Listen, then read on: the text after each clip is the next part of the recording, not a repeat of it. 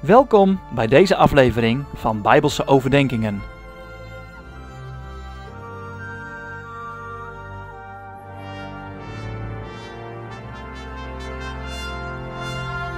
Een overdenking over de woorden van de Heer Jezus, waar hij zegt: Gij zult geen overspel doen. De woorden boven de overdenking kunnen we vinden in Matthäus 5, vers 27 tot en met 32. Gij hebt gehoord dat van de oude gezegd is: Gij zult geen overspel doen. Maar ik zeg u dat zo wie een vrouw aanziet om dezelfde te begeren, die heeft al reden overspel in zijn hart met haar gedaan. Indien dan uw rechteroog u ergert, trek het uit en werp het van u, want het is uw nut dat één uur leden verga en niet uw gehele lichaam in de hel geworpen worden. En indien uw rechterhand u ergert, hou ze af en werp ze van u, want het is uw nut dat één uur leden verga en niet uw gehele lichaam in de hel geworpen worden. Er is ook gezegd, zo wie zijn vrouw verlaten zal, die geven haar een scheidbrief. Maar ik zeg u, dat zo wie zijn vrouw verlaten zal anders dan uit oorzaken van hoerderij, die maakt dat zij overspel doet. En zo wie de verlatene zal trouwen, die doet overspel. Zoals we al eerder zagen, doet de Heer Jezus niets af van de wetten die Hij ons gegeven heeft op de Sinaï, maar laat de diepere betekenis zien van hetgeen verloren was gegaan door de uitleg van de Fariseeërs en de schriftgeleerden. De Fariseeërs en de schriftgeleerden leerden dat de uitvoering van het zesde gebod, gij zult niet echt breken, of gij zult geen overspel doen, gelegen was in het niet daadwerkelijk breken van het huwelijk. Zo ook hebben zij geïnterpreteerd dat een man om allerlei redenen zijn vrouw een scheidbrief zou kunnen geven om haar wettig te verlaten. De Heer Jezus gaat hierop in door te onderwijzen dat het niet gaat om de schijn, maar om het hart. Het kan voor het oog allemaal erg goed lijken, terwijl het hart vol zit met onreinheid van gedachten en verlangens. Men kan arm in arm lopen met de echtgenoot waarmee men getrouwd is, terwijl de ogen vol overspel de straten afloeren naar een vrouw die de wellustige fantasieën prikkelt. De Heer Jezus schroomt niet om over deze gevoelige materie te spreken. vandaag is dit onderwerp niet minder gevoelig en beladen. Zonder in te gaan op het onderwerp scheiden en hertrouwen, willen we vandaag de nadruk leggen op trouw en reinheid. In den beginnen schiep God de hemel en de aarde. Alles was goed. De mens die hij schiep, als het pronkstuk op zijn schepping, heeft hij mannelijk en vrouwelijk geschapen. De man heeft de opdracht gekregen om vader en moeder te verlaten en zijn vrouw lief te hebben en samen met haar een nieuw leven op te bouwen tot glorie van God. Wij hebben gezien hoe de Heere de goddeloze wereld heeft verdronken en opnieuw begonnen is met als teken van trouw de regenboog in de lucht. Nooit meer zal de aarde door water vergaan. Maar pas op, de goddelozen zullen straks door vuur verbranden.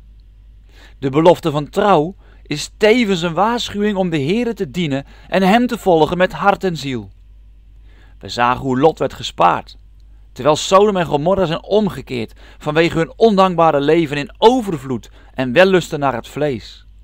De seksuele immoraliteit was tot een hoogtepunt gekomen. Mannen leefden met mannen en vrouwen met vrouwen, geheel tegen de scheppingsorde in. Later onderwijst de Heer Jezus ons dat net zoals in de dagen van Noach en Lot, het ook zal zijn als de Heer Jezus terugkomt. Dit moet voor ons een aansporing zijn om waakzaam te zijn. Vandaag beleven wij in Nederland de dagen van Noach en Lot. De scheppingsorde wordt geheel veracht. Van een schepping in zes dagen, door de enige waarachtige God van hemel en aarde, wil men niet meer horen. Vandaag gaan we zelfs zo ver dat een man geen man meer hoeft te zijn en een vrouw geen vrouw. Nee, niet wat God schept is goed, maar wat de mens bedenkt, dat is beter.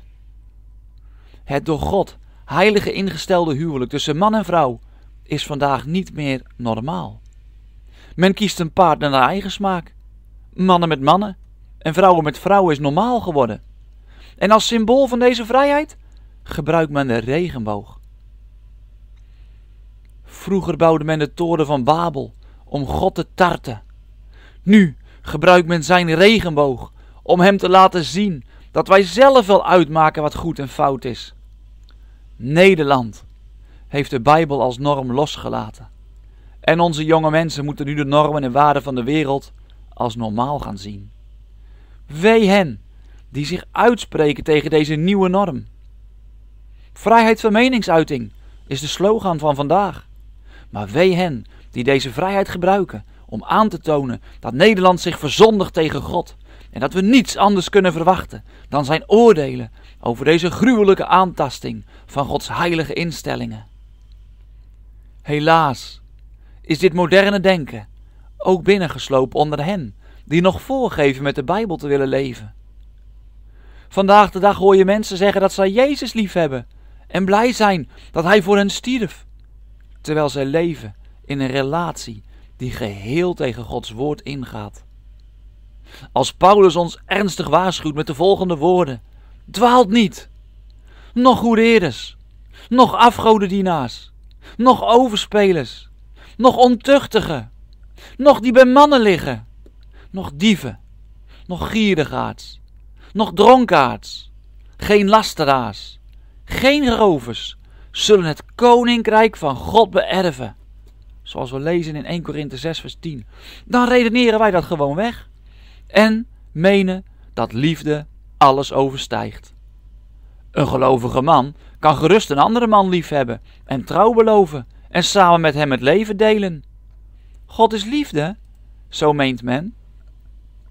Terwijl men niet beseft dat deze God een eigen gemaakte God is. De God die aard en hemel schiep, is een heilige God, die het niet toelaat dat de mens zijn wetten vertreedt en zich eigen gemaakte wetten maakt. Paulus zegt duidelijk dat dat wat wij nu zien en beleven het gevolg is van onze godsverlating. In Romeinen 1 vers 22 tot 27 lezen we. Zich uitgevende voor wijzen zijn zij dwaas geworden en hebben de heerlijkheid van de onverderfelijke God veranderd in de gelijkenis van een beeld van een verderfelijk mens en van gevogelte en van viervoetig en kruipend gedierte. Daarom heeft God hen ook overgegeven in de begeerlijkheid van hun harten tot onreinigheid, om hun lichamen onder elkaar te onteren. Als die de waarheid van God veranderd hebben in de leugen en het schepsel geëerd en gediend hebben boven de schepper, die te prijzen is in het eeuwigheid. Amen. Daarom heeft God hen overgegeven tot oneerlijke bewegingen. Want ook hun vrouwen hebben het natuurlijke gebruik veranderd in het gebruik tegen natuurlijk. En insgelijks ook de mannen nalaten het natuurlijke gebruik der vrouw, zijn verhit geworden in hun lusten tegen elkaar. Mannen met mannen schandelijkheid bedrijvende en de vergelding van hun dwaling, die daartoe behoorde, in zichzelf ontvangende. Wat is er te verwachten als een land en volk zich zo verzondigt tegen de schepper van hemel en aarde? Het onderwijs van de Heer Jezus dat wij vandaag overdenken, richt zich voornamelijk op de trouw tussen man en vrouw en de reinheid binnen dit huwelijksverbond. Wij beseffen wel dat de zonde die we zojuist beschreven straks door hem geoordeeld zal worden bij zijn wederkomst. Verschrikkelijk zal dat zijn, om dan ineens te ontdekken dat onze zelfgemaakte Jezus ons niet kent, maar moet veroordelen op grond van recht. Lieve vrienden, ik hoop dat u beseft dat dit onderwerp het overdenken meer dan waard is. En tegelijk hoop ik dat u mij niet verkeerd begrijpt. Ik haat geen mensen. Ik haat geen homo's en lesbiennes. Geen travestieten. En geen onzeker gemaakte mensen die niet meer weten of ze nu man of vrouw zijn. Ik heb mensen lief en wil hen winnen voor het koninkrijk van God. Ik veroordeel geen homo's, maar haat de zonde van homofilie, omdat ik God lief heb en weet dat Hij dit haat. Ik bid dat God de ogen van Nederland, onze overheid en de kerken opent om eerlijk te worden tegenover God, zichzelf en onze naasten. Overspel. Het is vandaag een spel geworden. Trouw zijn lijkt ouderwets geworden. Vandaag is de zonde van overspel meer dan ooit actueel geworden. De verleidingen tot deze zonde liggen voor een ieder binnen handbereik. Hoeveel van de lezers of hoorders van deze overdenking moeten niet bekennen vervuild te zijn in het denken door wat hij of zij heeft gezien op de televisie, op de computer of op hun telefoon? Onze jonge kinderen worden al overgoten met onreine beelden, of ze dat nu willen of niet. Door deze vervuilde gedachten is de moraal vervaagd en zijn de ogen vol overspel, terwijl menig hart schreeuwt om bevrijding.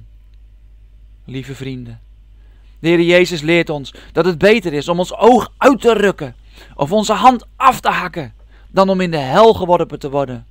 Kom, laten wij opstaan, de realiteit onder ogen zien en afrekenen met dit kwaad, voor het te laat is. Als u niet de baas bent over uw telefoon, werp hem dan van u. Als uw computer u steeds lokt om te kijken naar dat wat uw ziel verwoest, een schuld over u brengt en uw moraal vernietigt, gooi hem dan in het vuur, voordat u zelf in het vuur geworpen zult worden. O vrienden, trouw zijn, dat is wat God van ons vraagt. Mijn vrouw is mij van God gegeven, en zij is het waar dat ik haar trouw blijf totdat de dood ons scheidt.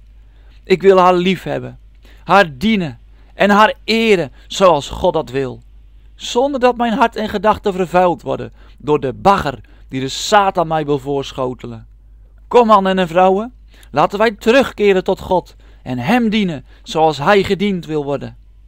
Als wij getrouwd zijn, laten wij dan trouw blijven totdat de dood ons scheidt. Laten wij ervoor strijden dat hoererij in ons huwelijk niet hoeft binnen te dringen. Als wij elkaar lief hebben, elkaar bidden dienen en de liefde bedrijven in de puurste vorm van liefde en romantiek, dan zal de duivel op ons geen grip hebben als het gaat om onreinheid. Kom, vriend en vriendin, bent u afgedwaald? Is het kwaad u overkomen en roept u om hulp? God is getrouw.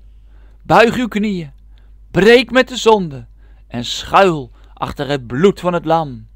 Hij wil u redden, reinigen, verlossen en in de vrijheid stellen. Laten wij waken en luisteren naar de wijze Salomo. Zieden wij niet aan als hij zich rood vertoont, als hij in de beker zijn verven geeft, als hij rechtop gaat. In zijn einde zal hij als een slang bijten en steken als een adder. Uw ogen zullen naar vreemde vrouwen zien en uw hart zal verkeerdheden spreken. Spreuken 23, vers 31 tot 33. Terwijl we met David bidden, wend mijn ogen af, dat zij geen ijdelheden zien. Maak mij levend door uw wegen. Psalm 119, vers 37. Waakt en bid. De tijd is kort. Nog is er genade. Jezus leeft. En in hem geborgen te zijn is alles waard. Nog even. En hij zal komen. O, wat een vreugde voor alle die hem lief hebben en naar Gods geboden luisteren. Kom, Heere Jezus. O, kom haastiglijk. Amen. Halleluja.